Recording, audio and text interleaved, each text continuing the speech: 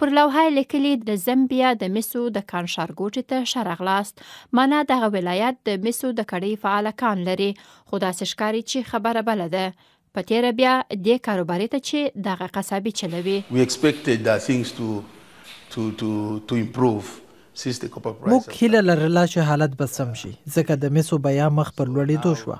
خو چې ورته ګورو نو حالت پر هغه ځای ولاړ دی. خواشینوونکې ده. موږ ډېر څه نه شو کولای. خرڅلاوې ښکته کېږي او موږ یې په رښتیا اغېزمن کړي یو. دلته د کانونو کاروبار ته ډېر تاوان په دې اوښتی چې د مسو بیې کښته پورته کېږي او د حکومت تګلاره هم ورسره پر یوه قرار نه ده ولاړه. شرکتونه وايي، پرمختګ ته لا اوږده لار په مخ کې ده. ثبات، ثبات، او بیا هم ثبات ته د تګلارې په جوړولو کې اړتیا ده. د تګلارې په بدلولو کې تاوان نشته، خو موږ فکر کوو، هر حکومت چې اقتصاد اداره کوي، نو باید تګلارې داسې بدلې کړي چې د حالت وړاندوینه کولی شي او د پرمختګ ملاتړ وکړي. نه یوازې په وده کې، بلکې پانګونې ته هم پام وکړي.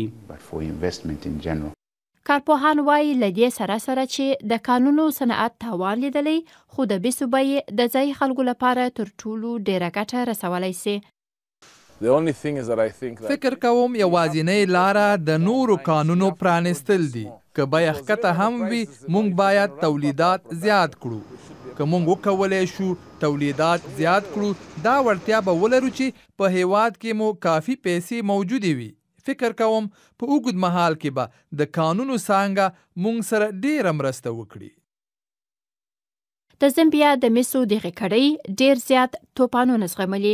که چېرې د نړۍ په بازارونو کې د مسو بیه لوړه هم سي، نو دلته به عادي خلک بیا هم حیرانه وي چې څه مهال به د دغې لوړې بیې د ګټې اغېز تر دوی هم ورسېږي.